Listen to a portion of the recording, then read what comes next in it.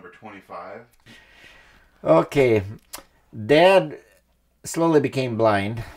Didn't have a lot of entertainment. It limited to Strauss waltzes. We'd be in Vegas and he didn't like the shows. Uh, the restaurants were too gaudy and that. But he always loved jokes. And they made him Toastmaster blind of the avocado group in Escondido. His house was surrounded by three acres of avocados. Uncle Ralph, I'm sorry, you can't do that with your microphone. Oh, oh yeah. And he, uh, with the avocados, he ended up as Toastmaster for an avocado group that loved his stories. Dad was a good speaker, if you could stop him. so I ran out of jokes. He ran out of jokes. He'd call me. I ran out of jokes. I started buying joke books and so on. And that ended up my life going in the direction that I just love jokes. And I heard of a bar restaurant near my house that had a joke night $25 prize, but I pushed it off of the business. I couldn't get there. When I get there, it's a $100 joke night. And it's a great idea for anyone listening, better than karaoke and that. The judges are any three customers, and all you have to do is write down the punchline of the funniest joke you've heard so far. So if no, the rooster ate it was the funniest joke, but now you got a funnier one. Uh, where did you get that crappy hairdo is now the funniest one. You just write that down. So it's easy to do, and people were just throwing out jokes. And uh, so when my turn came, I had read this in the paper, but anyone knowing jokes, it is not how you read them in the paper or book, it's how you tell them to people. So St. Peter is addressing a huge crowd in front of the pearly gates that for some unknown reasons we have too many people in too few places. So I'm going to ask you that died in your sleep peacefully, step aside, you'll have eternal rest. But those of you that had traumatic deaths that are still uptight, come and tell me one at a time and we'll place you.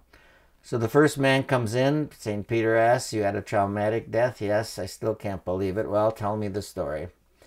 I've been married five years, worked downtown, started suspecting my wife was fooling around when I was at work, and it ate at me so much that one noon I decided to go home unexpectedly and see what's happening. I get there, I left the key, I got to pound the door. I'm on the 13th floor of this condo. And finally, she opens the door and she's still in her negligee. It's noon. She looks flushed. I barge past her into the bedroom. Nothing. Under the bed, nothing. The closet, nothing.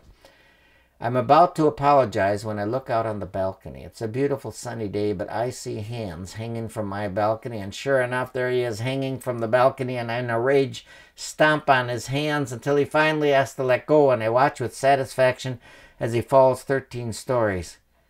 But then there's movement and he slowly gets up. He hit a bush. It broke his fall. I need something heavy quick before he moves out the chair. It's not heavy enough. The bed, I can't get it through the door. The refrigerator. I push the refrigerator up to the railing, and as I push it over, I have a heart attack, and that's why I'm here. Well, my son, that, that really is a traumatic death. Welcome to eternal bliss. St. Peter calls the next one in and says, I just heard a story that was incredible, and this guy says, I can't believe mine either. Well, let me hear it. I work downtown, a little overweight, work out at lunch at home. It's so beautiful, and I live in this beautiful condo on the 14th floor. I decided to work out on the balcony, so I got this 150 bench press up, and I'm proud of myself. When a gust of wind blows me over the balcony, I figure this is it.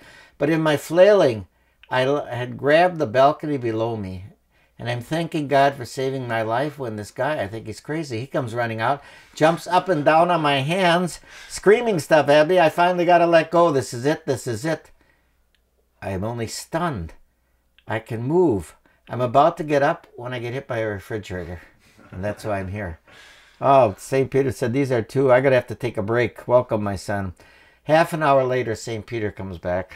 That's the next guy. And then St. Peter warns him, I had two stories so incredible I don't know how many more I can take. What's yours? Well, mine's incredible too. Here I was naked in this refrigerator. they want me a hundred dollars, but I was in a tie, so I had to repeat the joke. And this was my biggest compliment. Two beautiful blondes come over. There's about 50 people in the bar. I don't know any of them. And they thought I was a ringer, the professional that pretended I was an amateur just to win the hundred dollars. I bought everyone jokes and still went home with about six sixty-five dollars. But everyone jokes, everyone drinks.